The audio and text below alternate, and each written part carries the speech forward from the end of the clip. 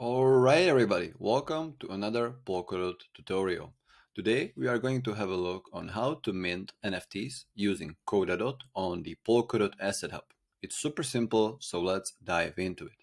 We are currently on the KodaDot platform. What we will do now is uh, go to the right upper corner, click on connect, confirm that KodaDot will never ask you to provide your mnemonic phrase or private key and click on confirm.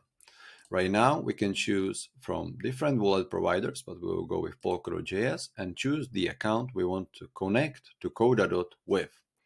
All right, and we are in. We can see our balance here on the right side, and we need to check right now on what network we are in. So just to double check, we are on Polkadot Hub, that's correct. And now we will create the collection.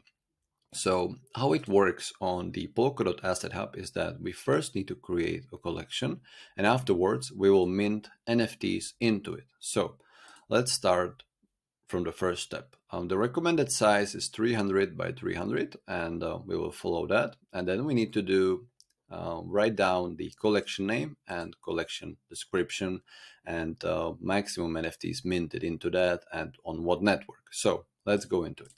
Um, we will choose the logo image of our collection. Now we need to choose the collection name. I actually have it here. So it's a multiverse mischief. Um, and the collection description, that's optional. And uh, we'll just have this one. So people know what they are actually buying, right? And we'll have uh, unlimited NFTs in the collection. So we can mint as many as we want. Uh, we have chosen the network, which is Polkadot Hub, and the current deposit is 10 dot. So what we need to do now is double check that we have everything that we need to input and uh, create collection. So right now, uh, we will just wait for everything to set up. Right now, what we need to do is input our password. And sign the transaction.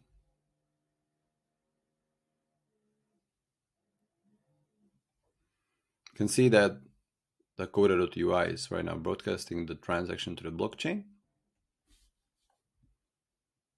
All right, awesome. We have successfully minted the Multiverse Mischief collection to KodaDot.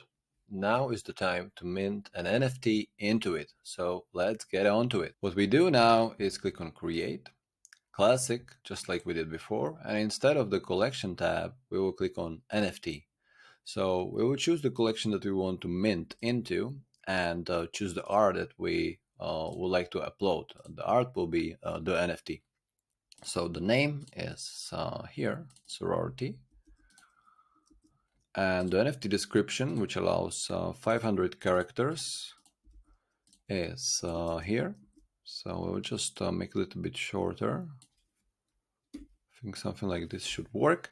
Uh, it will be one-on-one art, so only one copy. And uh, list NFT for sale will do that right away and list it for eleven dollars because that's a that's a nice number. And yeah, let's uh, click to create NFT. In the meanwhile, uh, we are uploading the data to the IPFS and uh, we will be prompted with a transaction to sign, as you can see right now.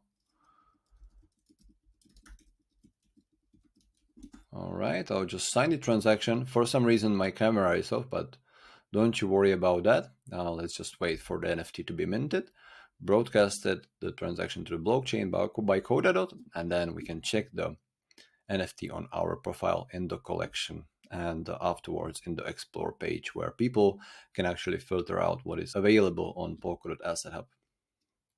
You can see the transaction is in block all right, successfully we've minted the Rorty NFT and we are on the detail now. Uh, I can see this nice fella is ready for you to be bought and I can actually share it right away, which I'm not going to do right now. But you can see that there are some attributes. Uh, here is the description of the NFT we minted.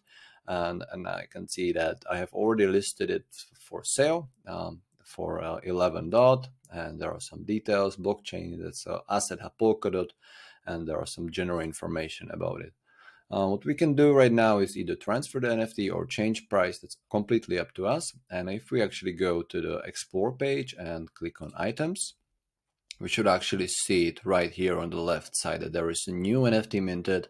If somebody uh, wants to buy it, then they are free to do so. I'll share a link in the description below. All right, everybody. Thank you all for watching and uh, have a good day. Thank you.